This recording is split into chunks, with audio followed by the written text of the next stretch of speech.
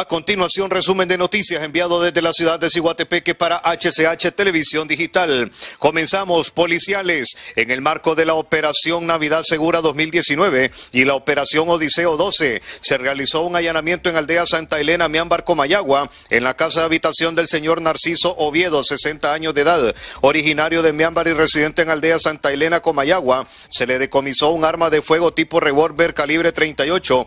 Él fue trasladado a la posta policial de Ciguatepeque para su respectivo proceso legal por el supuesto delito de tenencia legal de arma de fuego de uso comercial en contra de la seguridad interior del Estado de Honduras. Asimismo, accidente de tránsito tipo despiste seguido de volcamiento, carretera internacional CA5, kilómetro 135, carretera de Carrizales, Taulabeco, Mayagua. Un cabezal tipo furgón color blanco, placas WAK6716, conducido por Marvin Vanegas, transportaba jugos, venía de Comayagua hacia San Pedro Pedro Sula. Según información del conductor, las causas del accidente serían desperfectos mecánicos. Al lugar llegaron agentes de vialidad y transporte, así como patrullas de carretera, para poner conos de seguridad y evitar un accidente, ya que el furgón quedó obstaculizando tres carriles. Con este resumen de noticias desde Ciguatepeque y Carrizales Taulabeco, Mayagua, retornamos a estudios de HCH Televisión Digital, les informó Ricardo.